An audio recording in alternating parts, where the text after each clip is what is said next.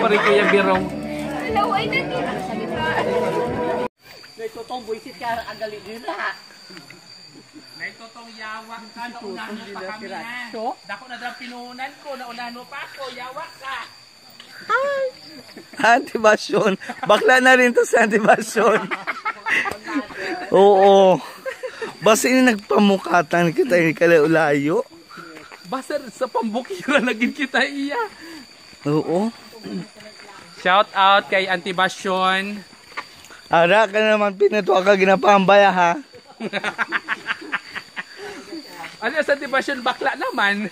Oo.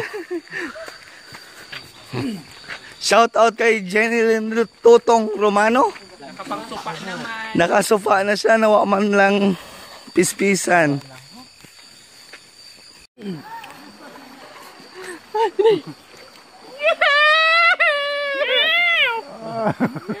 Tabok na.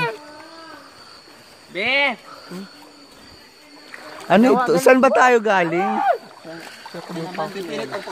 Do kadalo? Ayan, magandang gabi po sa inyong lahat. Andito po kami sa Panagintingan. Ano pa naging tingan? Ay, sa Lumpang Weste pala, hindi, hindi Panagintingan. Lumpang Weste, Sitio Santa Cruzan, sapagkat naglalamay po kami sa aming Friend. friend or or pinsan ng aming kaibigan na si Mr. or si Miss Jeneline Romano. Ayan, andito po kami sa tabing ilog. Makita po kami ni Layaki. Kuyang Kaglayaki. Oo, at higit sa lahat, may mga pusa kaming dala. Ano nga tunog ng pusa?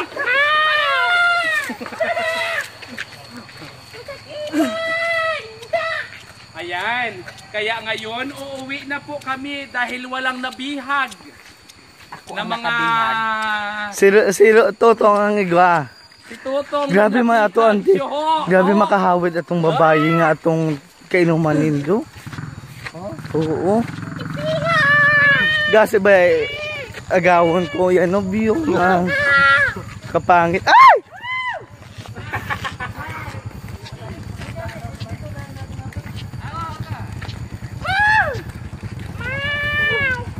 Yan si Auntie Basyo nandito po. Ayan.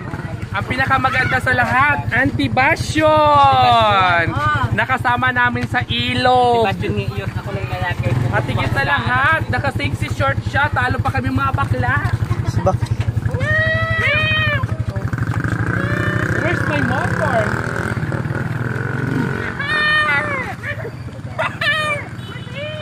Na motor mo yaho. Kakaari. Aw, gali. Hara gali. Hara gali. Nakaboylo ka man lagi. Wow. Base. Kay 1.5 ang bayan. Pila? 1.5. Hay ka pinit. Ay, wala, walang nakuha sapagkat ang lalaki daw ay 1,500. Ang problema, dala namin ay tig 150 lang. Kaya 1,500 oh, pero ang gusto ng lalaki, 1,500 oo.